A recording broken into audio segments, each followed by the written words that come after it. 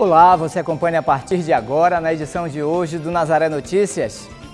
Terceira idade exige prática de qualidade de vida e segurança. O Brasil tem índice de gravidez na adolescência acima da média latino-americana. O uso de tecnologias pode trazer problemas à saúde. Aplicativo calcula o índice de qualidade da água. Limpar o ouvido com artes pode trazer problemas à audição. O Brasil lidera o ranking de países com maior concentração de renda do mundo. Banco da Amazônia inaugura a Central de Crédito, a agenda cultural e no bate-papo musical de hoje a banda Dois na Janela. Que renova a vida, basta então que eu também. Hoje é sexta-feira, 23 de março e o Nazaré Notícias já está no ar.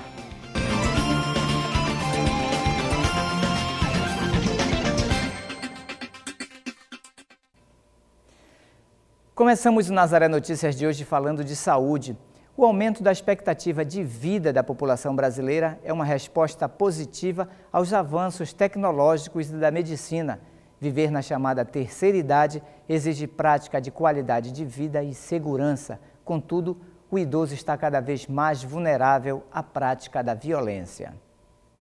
Um em cada seis idosos é vítima de algum tipo de violência em todo o mundo, segundo o relatório da Organização Mundial da Saúde. No Brasil, o sistema de garantia dos direitos da pessoa idosa é amparado por diversos documentos legais. O idoso hoje, melhor falando, da melhor idade, né, a pessoa da melhor idade, é, está protegido através do Estatuto do Idoso, que é a Lei 10.741, estatuída em 2003. Né? É, esse ano, de 2018, vai fazer 15 anos da sua existência e é sempre bom a gente ressaltar que essa lei ela veio garantir direitos básicos, primordiais, sobretudo à saúde, à integridade física, ao respeito, à dignidade da pessoa humana e também à liberdade do idoso, que tem que realmente estar bem estabelecidos e protegidos nesse estatuto que é de grande importância né, para o convívio social dessas pessoas que hoje estão na melhor idade. As violações mais comuns são a negligência, a violência física ou psicológica. O Estatuto do Idoso ele veio justamente tipificar alguns crimes, ou seja, veio especificar alguns crimes é, é, inerentes à, pessoa idosa. Né? Um deles é exatamente expor a perigo.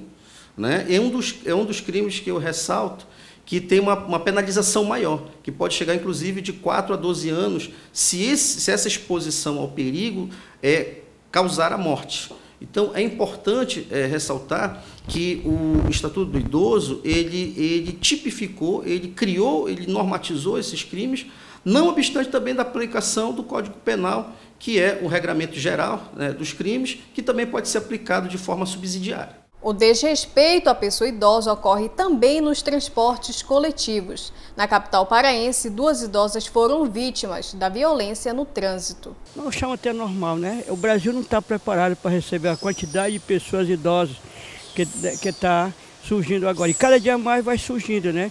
Eu acho que tem que haver um investimento, tanto faz do governo público, como para as pessoas mesmo, né?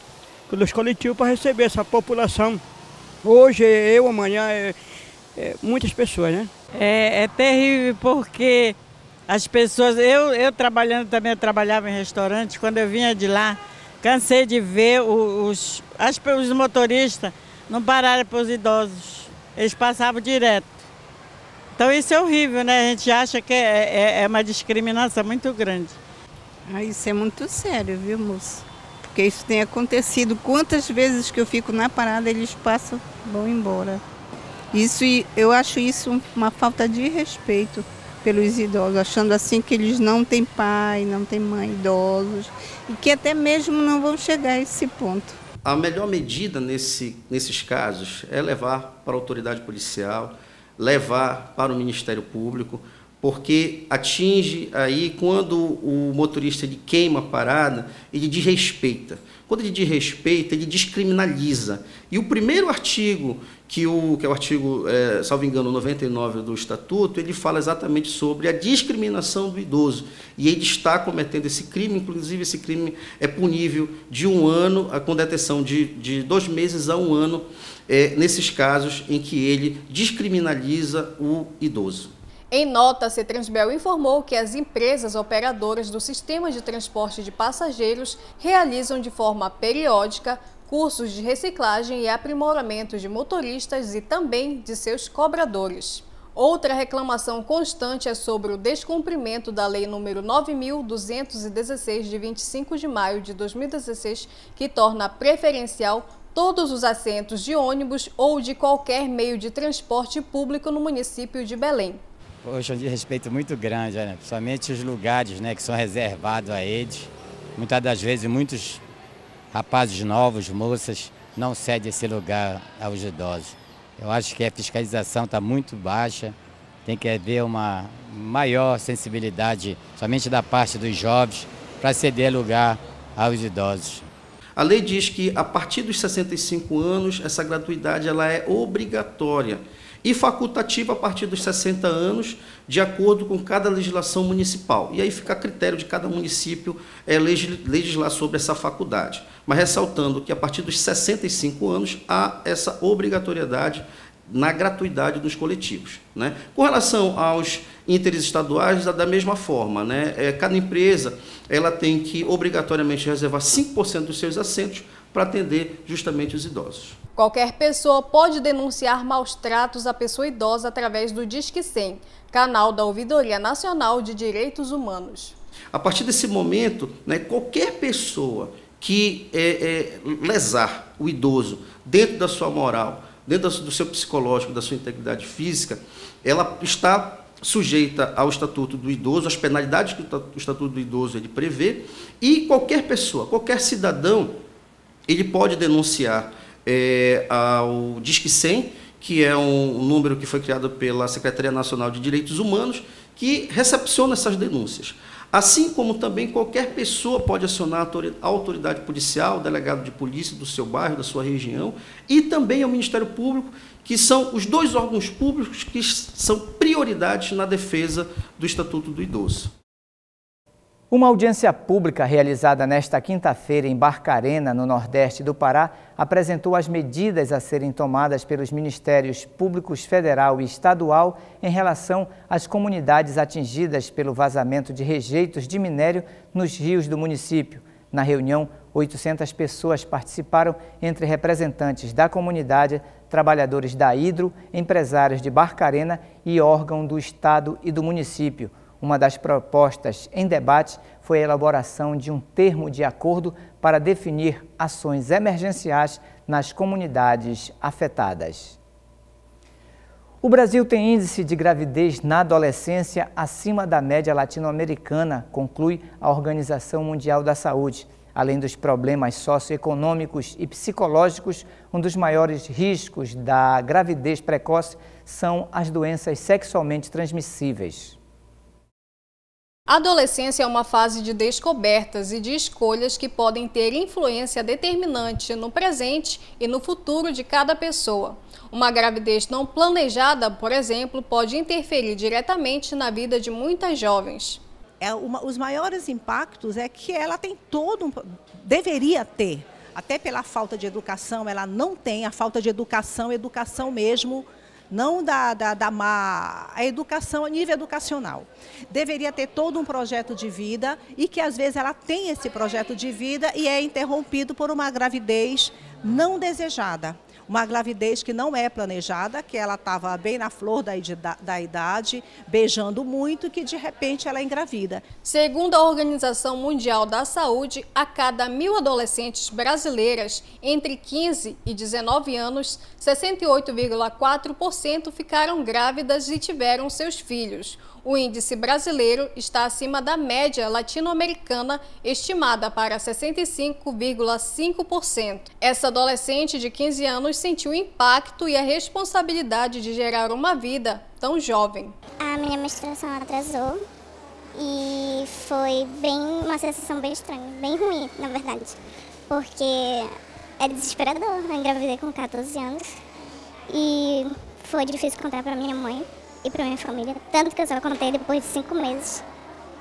E depois que eles souberam, eles ficaram bem decepcionados. O tio a acompanhava na consulta e contou sobre o susto da família ao descobrir a gravidez. No começo foi um impacto, né? Porque a gente não esperava. Mas agora não, a gente está dando todo o apoio para ela, tanto psicológico, tudo que a gente está podendo fazer, a família toda se uniu e está apoiando ela. A gravidez precoce traz riscos tanto para a mãe quanto para o bebê.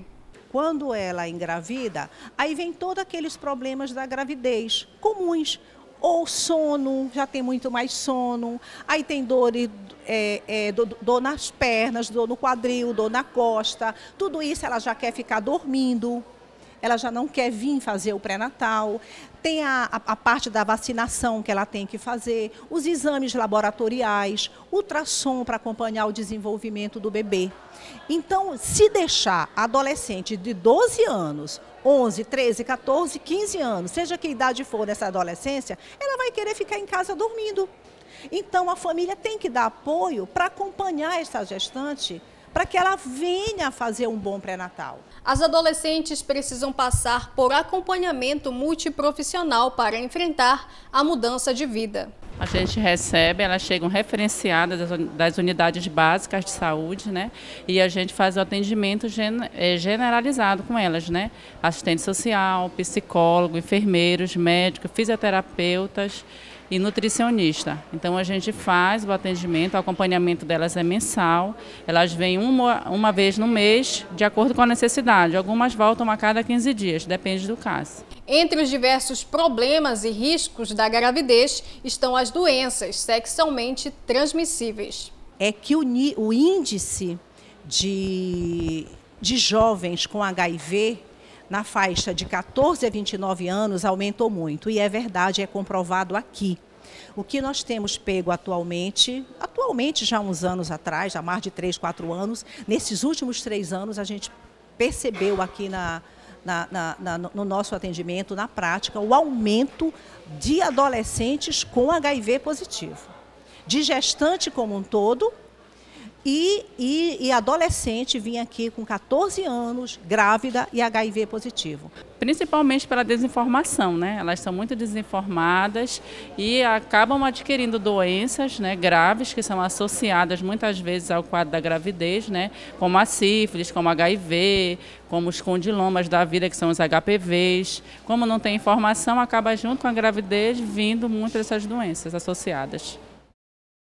Moradores bloquearam a Avenida Augusto Montenegro na altura do quilômetro 4 na manhã desta quinta-feira em Belém, em protesto contra a mudança das paradas de ônibus do local. A população pede que seja instalada uma passarela que, segundo os moradores, facilitará o deslocamento dos pedestres. Durante a manifestação, foi ateado fogo em pneus e, por conta disso, a via ficou interditada o trânsito ficou bastante lento e congestionado no sentido Belém e Coraci.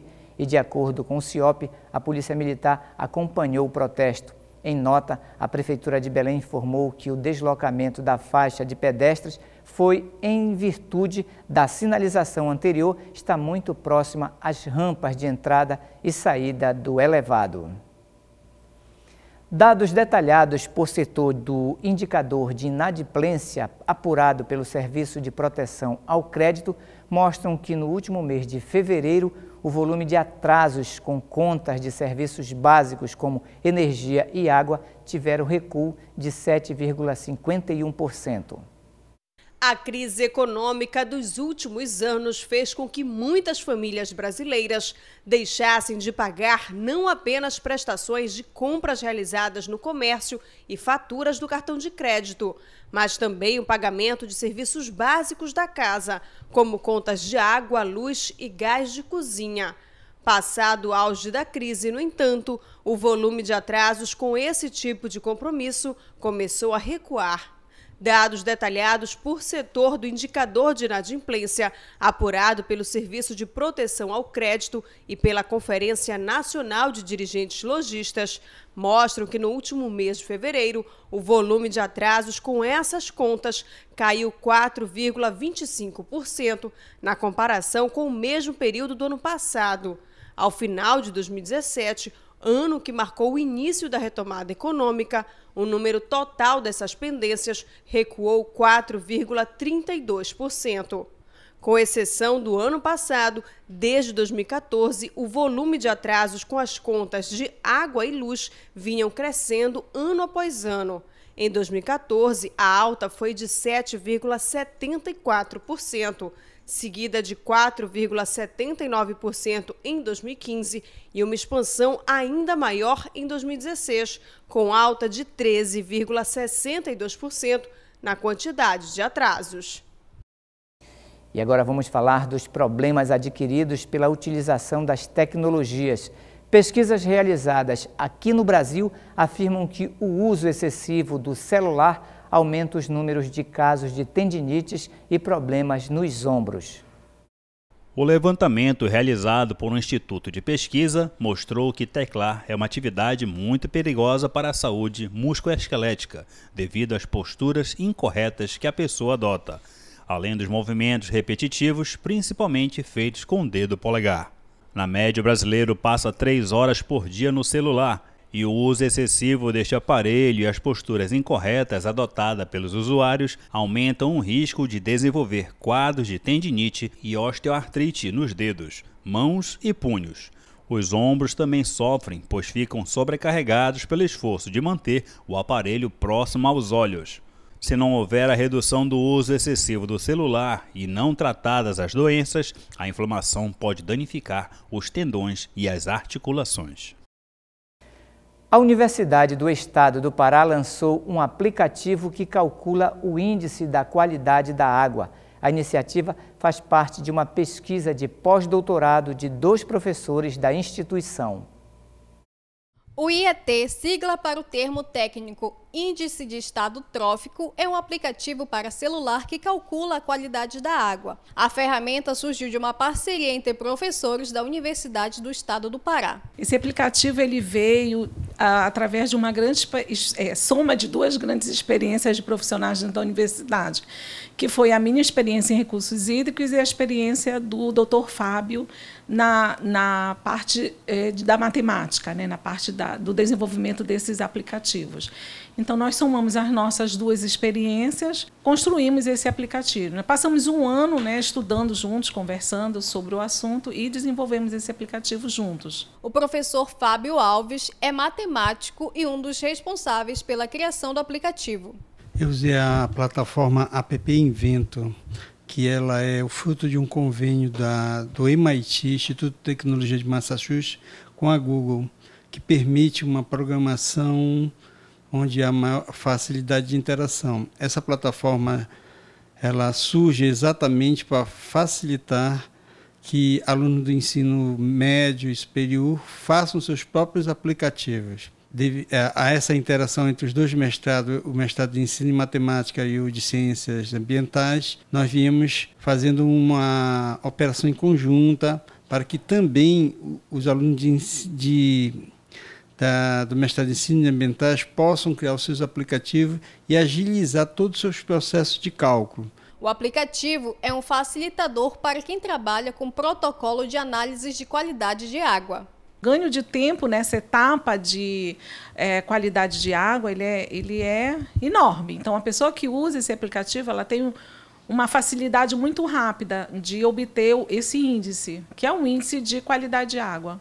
Segundo os dados do diagnóstico dos serviços de água e esgoto, o índice de abastecimento na região norte é de 57%, o menor na média nacional. O índice brasileiro é de 83%. A ferramenta pode ajudar a encontrar substâncias maléficas que estiverem presentes na água. É, esse aplicativo ele é um indicativo né, de dois parâmetros que são responsáveis pela, pela eutrofização dos recursos hídricos. Principalmente aí são a clorofila, a, a clorofila e o fósforo. Né? O fósforo, em grande quantidade em águas, ele, ele torna essa água é, não própria para consumo. Né? E na natureza, quando ele está em grande quantidade, ele é um indicativo que ali eu tenho muito nutrientes. Então, mesmo na natureza, eu tenho, posso ter a, a introdução de esgoto. Então, ele é um indicativo que eu estou tendo alguma alteração naquele recurso hídrico ali no momento. O foco principal do IET é calcular a condição em que se encontram os ambientes aquáticos, lóticos com correnteza e lênticos sem correntezas. Então, o índice de estado trófico ele veio da comunicação do grau de trofia dos recursos hídricos. Então, se o recurso hídrico ele, ele está ah, com muito nutrientes em, dissolvido na, nas, suas, nas suas águas ou não. Então, esse índice ele vai calcular. Ele, ele funciona como se fosse também um alerta né, para o acontecimento de uma eutrofização, por exemplo. O cálculo é feito por equações que foram inseridas no aplicativo. Então, o único procedimento dentro desse aplicativo reduz consideravelmente o tempo e a precisão do cálculo, diminui a margem de erro de por, por operação e manipulação dos dados. O aplicativo já está disponível para celulares Androids e pode ser baixado gratuitamente. Uma tubulação se rompeu em frente ao Tribunal de Justiça do Estado do Pará, na Avenida Almirante Barroso, no bairro do Souza, aqui em Belém, na tarde desta quinta-feira. O trânsito ficou lento no local. A Companhia de Saneamento do Pará informou que o vazamento foi na adutora da Avenida Almirante Barroso e para conter o desperdício de água foi preciso desligar três setores de abastecimento para os bairros do Comércio, Cidade Velha, Reduto, Batista Campos, parte dos Jurunas, o Marizal e Nazaré. Ainda não se sabe o que provocou o rompimento. E você pode participar da produção aqui do Nazaré Notícias. É só enviar para nós sugestões de entrevistas ou de reportagens para o nosso WhatsApp. O número é o 988023444. Aí você informa o seu nome e a sua cidade. Ajude os meios de comunicação da Arquidiocese de Belém. Faça parte da família Nazaré. Ligue 4006-9211. E você acompanha ainda nesta edição. Limpar o ouvido com hastes pode trazer problemas à audição. O Brasil lidera o ranking de países com maior concentração de renda no mundo. Banco da Amazônia inaugura central de crédito. Você acompanha também a agenda cultural e o bate-papo musical com a banda Dois na Janela. Que estou perto, eu não sei, estou. Voltamos com o Nazaré Notícias e agora vamos falar de higiene. Alguns hábitos simples e que muitas vezes parece inofensivo pode trazer sérios comprometimentos à saúde. Muitas pessoas têm o hábito de limpar os ouvidos com hastes flexíveis. Contudo, especialistas apontam que essas práticas podem fazer mal à saúde. Você já limpou demais o ouvido e acabou sentindo que ele ficou entupido ou doendo? Saiba que essa prática é prejudicial. Quebrar esse estigma de que o ouvido precisa ser limpo. A, a, a cera não é sujeira. A cera faz parte de proteção, como a gente conversou agora há pouco. Então, perder esse hábito, né? Limpar a orelha por fora, com o dedo mesmo, com a toalha. E tá bom, tá ótimo. Sentiu tampar? Vai no torrino. A cera produzida no órgão serve como proteção e não é sujeira, como muitas pessoas pensam. A cera tem uma importância muito grande, na verdade, no ouvido, que ela protege, protege contra vírus, contra bactérias, ela tem um fator protetor importante. Quando há algum problema, como ressecamento da cera do ouvido ou entupimento, é recomendado procurar ajuda médica. A quantidade de pacientes que chega no nosso dia a dia de consultório tentando fazer essa remoção sozinho com haste flexível, que não é para ser introduzida no ouvido, isso está inclusive escrito na caixa uh, do produto. E a principal coisa é procurar o otorrino. Tá? Primeiro que não é só cera que tampa o ouvido, existem outras situações que podem tampar o ouvido. Então, só quem tem capacidade de definir o que está acontecendo é o otorrino. Sendo cera, o otorrino ele vai fazer a remoção no momento, se der. Eventualmente essa cera ela vai desidratando, então ela vai endurecendo dentro do ouvido. E o otorrino precisa usar uma medicação que é um emoliente, nada mais é para diluir essa cera e o otorrino conseguir fazer essa remoção sem causar nenhum dano, nenhum desconforto para o paciente. Em hipótese alguma, faça a remoção em casa, pois pode causar danos, como a inflamação do aparelho auditivo. Apesar da gente ainda é, pacientes que tentam fazer isso sozinho, ou vai numa farmácia e lá é, é tentado fazer essa remoção. Uh, pode levar danos importantes no ouvido, sim. Tá? O otorrino ele sabe onde ele está jogando o jato de água para tirar essa cera. Então, que tipo de danos? A gente pode ter uma lesão do conduto auditivo e isso gerar uma infecção a gente pode ter um trauma da membrana timpânica, perfurando essa membrana, e isso é mais problemático ainda. Então, enfim, então, tem que procurar o profissional responsável por isso para que ele faça sem causar nenhum, nenhum dano, nenhum problema. O atendimento itinerante para a retirada da habilitação do Departamento de Trânsito do Estado do Pará será oferecido em cinco municípios do interior neste próximo final de semana. Priscila Pinheiro tem mais informações. Marcos, a ação será neste sábado 24 e domingo 25 e vai atender os municípios de Terra Santa, Almerim, Pacajá, Xinguara e Cametá. Entre os serviços ofertados à população estão a renovação da CNH, exames, entre outros. Mais informações podem ser obtidas no site do Detran, www.detran.pa.gov.br. Priscila Pinheiro para o Nazaré Notícias. E agora nós vamos falar de desigualdade social. Dados divulgados mostram que o Brasil lidera um ranking de países com maior concentração de renda do mundo. A informação não chega a surpreender, já que nos últimos dois anos o país paralisou projetos sociais importantes e deixou de investir na geração de emprego. Inflação e recessão foram as palavras mais lembradas em 2017. Viver em meio à pobreza é comum para quase 50 milhões de brasileiros. De acordo com dados divulgados em dezembro de 2017 pelo IBGE, o país apresentou um salto significativo na luta pela erradicação da miséria extrema no início dos anos 2000. Mas, segundo o Instituto, o recuo em programas sociais e o desemprego voltaram a empurrar grande parte dos brasileiros da classe D para E. Um exemplo é a dona de casa Alessiana Martins Nascimento. Mãe e desempregada, ela cuida sozinha de um filho especial. Os dois vivem em uma casa simples, em uma área de risco, que não conta com saneamento básico. Para sair de casa, ela precisa levar o garoto. E sem poder carregar o menino de dois anos, a criança tem que se arrastar no chão para subir uma ladeira. Uma vida difícil que entristece a jovem. Muito difícil me pelejar com ele, né? Por causa dessa rua aqui, ó, só buraco.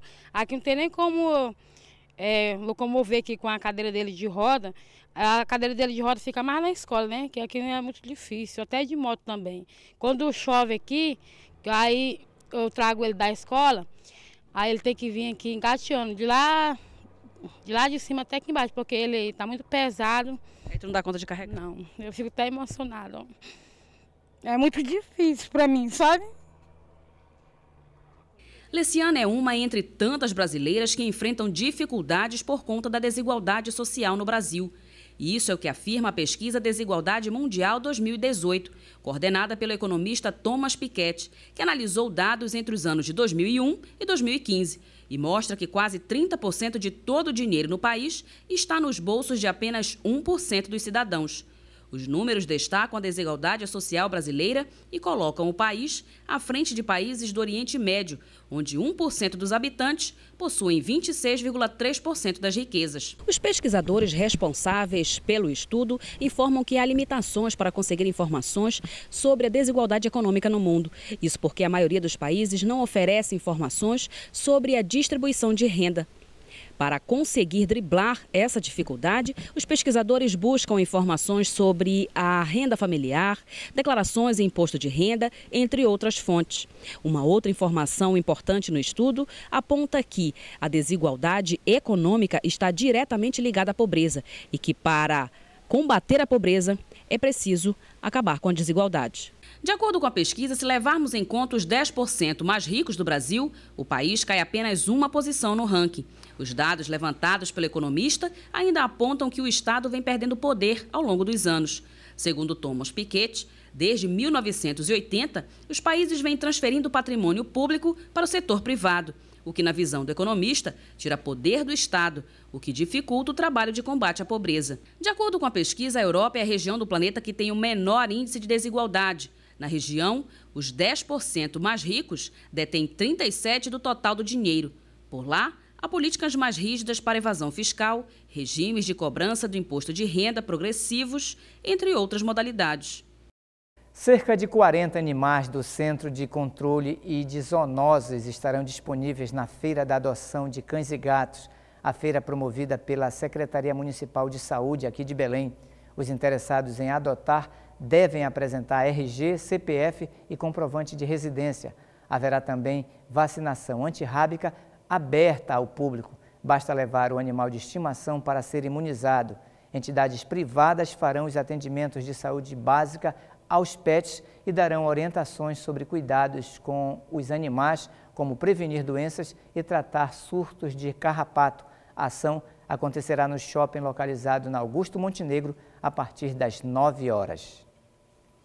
O Banco da Amazônia inaugurou na manhã de ontem a maior central de crédito da instituição.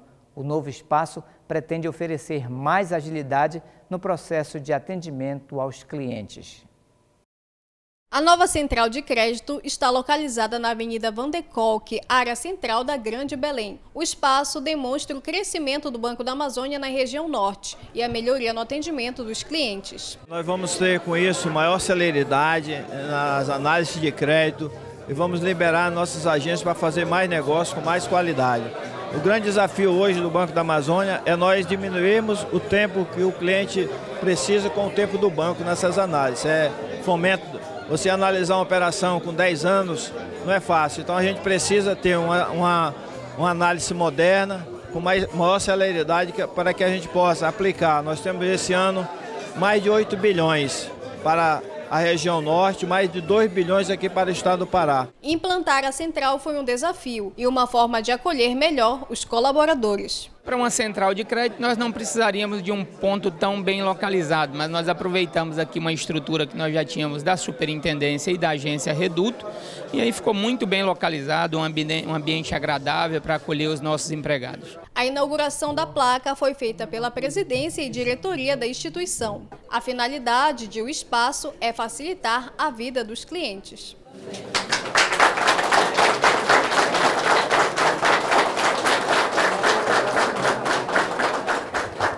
A central de crédito do Banco da Amazônia é uma ferramenta que foi criada justamente para ter um tempo de resposta para o cliente de mais ágil, tá? Então são cinco centrais, essa aqui é a segunda, já foi formada a primeira no Acre e agora aqui no Pará. É, ela é muito importante na questão comercial para que o cliente não espere muito tempo para ter uma resposta em relação ao limite dele, em relação ao investimento. Então a central vem atender todos os públicos, do rural ao não rural do micro, que é o Pronaf, ao grande cliente. Muito importante a inauguração das centrais de crédito. Elas trazem celeridade, padronização e qualificação do crédito. Então agora, ao invés da gente ficar atravessando um processo de análise dentro da agência, passar para a superintendência, passar para a matriz, o crédito, agora o crédito entra direto na agência, a agência e a superintendência são canais de venda de produtos, canais de negócio com os clientes, e aí o crédito ele vai para uma área de análise que vai analisar de forma padronizada, de forma qualitativa, quantitativa também, muito eficiente, e devolver para a gente uma resposta muito mais rápida. E agora nós vamos falar em esporte. Especialistas em esporte paralímpico de todo o Brasil estarão em Belém para discutir o incentivo a essas modalidades na escola. Eles participam do primeiro seminário regional escolar paralímpico realizado na sede da Fundação Cultural do Pará. Que tal se colocar no lugar de pessoas com deficiência? Um mini curso sobre esporte para pessoas com deficiência física, visual e intelectual mobilizou os participantes do Seminário Regional Paralímpico em Belém. O evento reúne representantes de vários estados. O objetivo desse seminário né, é poder capacitar em torno de 1.500 profissionais de educação física em todo o Brasil. O seminário que acontece hoje em Belém, é, nós estamos preparando os profissionais de educação física e profissionais de algumas áreas afins a poder trabalhar dentro da escola com algumas linhas de pesquisa. A primeira delas é a visual, a segunda intelectual e a terceira física. Então, esses alunos, esses profissionais, eles estão sendo capacitados, tanto na teoria quanto na prática, para poder desenvolver dentro da escola, dentro da sua realidade, esses trabalhos e poder ajudar essas crianças, ajudar esses alunos a melhorar o seu desempenho a cada vez mais. O Pará é o primeiro estado a receber o Seminário Regional Escolar Paralímpico, porque em quesito de esporte paralímpico, em 2017 a delegação do estado trouxe 68 medalhas, 39 de ouro, 13 de prata e 16 de bronze. É essa experiência que outros estados buscam compartilhar na modalidade escolar. A gente veio aqui para troca de experiência, né? A gente precisa de novas ideias para construir o esporte paralímpico nas escolas, dar mais, mais incentivo para os atletas, é, tentar buscar professores como parceiros. Então, a gente quer ver como é que funciona no Tocantins, como é que funciona aqui no Pará, como é que funciona no Maranhão. E trocando experiência juntamente com nós do, do Amapá, a gente possa ter uma ideia, ter um ponto, ter um, uma flecha, um ideal único que é, o objetivo é o crescimento do nosso esporte. No esporte paralímpico, o Brasil é destaque na natação e no atletismo. Mas, na escola, diversas modalidades são incentivadas. Esse seminário, para nós, é um ganho, é um ganho, né? Porque, assim, toda vez que nós participamos dos seminários, nós levamos uma bagagem ainda maior para o Tocantins. E lá nós iniciamos um projeto chamado Parajets, que são os Jogos Estudantis para Desportivo Tocantins. E esse seminário tem nos auxiliado muito para o crescimento desse, desses jogos.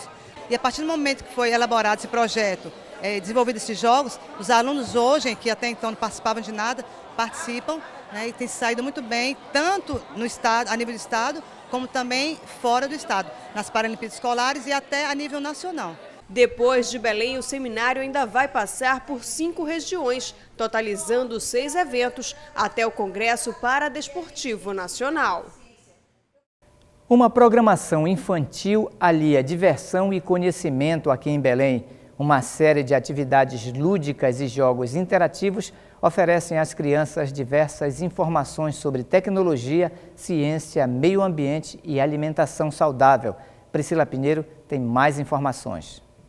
Marcos, a programação começa às 15 horas em um shopping localizado na Avenida Augusto Montenegro, em Belém. A diversão da garotada contará com brinquedoteca, jogos, palestras e muito mais. Mas a diversão desse final de semana não fica por aqui. Confira agora os destaques da nossa agenda cultural. Um grande baile medieval está se aproximando com melodias tradicionais da era medieval. O Centro Cultural Sesc Boulevard apresenta amanhã às 18 horas o baile medieval da Roda de Era. A programação é gratuita e a diversão é garantida. Até o dia 15 de abril, a Casa do Fauno recebe a exposição Elas, Empoderadas, Lutadoras, Admiráveis. A mostra traz figuras femininas importantes da história. Na exposição é destacada mulheres responsáveis por ultrapassar barreiras e quebrar tabus na sociedade. A exposição segue aberta até o dia 15 de abril, a partir das 19 horas, com entrada franca. E até domingo acontece a Semana de Francofonia. Esse ano o evento conta com uma programação variada que contempla diversos tipos de arte e aspectos marcantes da cultura francesa. No Cine Olímpia haverá exposição de filmes a partir das 15h30. A entrada é franca. E no bate-papo musical desta sexta-feira, Maria Leal conversa com integrantes da banda Dois na Janela grupo autoral de Belém, que está lançando o seu primeiro EP. Marcos, no nosso bate-papo musical de hoje, a gente conversa com a banda Dois na Janela. Um projeto que já existe desde 2013 e que cada vez mais tem conseguido seu lugar no cenário autoral da música paraense. Eu estou aqui com Pepeco, que faz a voz e violão, e o Ismael Rodrigues, que é o baterista da banda que vou contar pra gente um pouquinho mais o que é o Dois na Janela. Para começar, o Dois na Janela começou contigo, né, Pepeco? Como é que foi esse projeto? Pois é, eu sou de Abaitetuba, então me envolvi com música com uns 12 anos e conheci vários artistas lá em Abaité. E no meio desses artistas eu conheci o João Cássio, que é um amigo lá, que é luthier hoje, que faz instrumentos. E a gente teve a ideia de fazer o Dor na Janela em Abaitetuba para fazer com percussão mesmo, violão. Não era uma banda ainda, sabe? Ainda não era uma, uma, uma, coisa grande, assim, era uma coisa bem pequena. Fizemos algumas apresentações por lá e lá juntamos a primeira formação com uns amigos de lá.